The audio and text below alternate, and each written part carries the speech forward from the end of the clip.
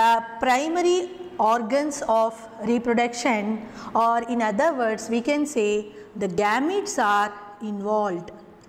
The gametes are involved in the reproductive system.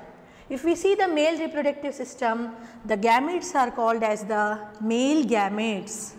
The gametes are called as the male gametes and in the female reproductive system, the gametes are called as the female gametes.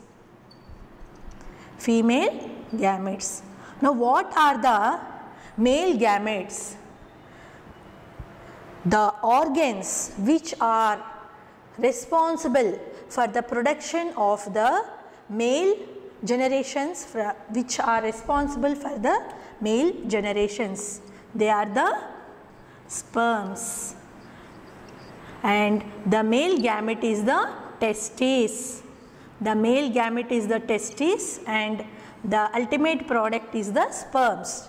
Now what about the female gametes? Here the gametes are the ovary or another name is there that is oocyte, ovary, oocyte or the egg.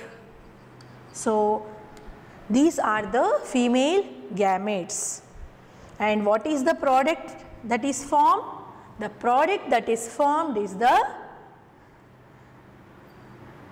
oocytes are formed by the formation of oogenesis, oogenesis which we will be discussing in detail.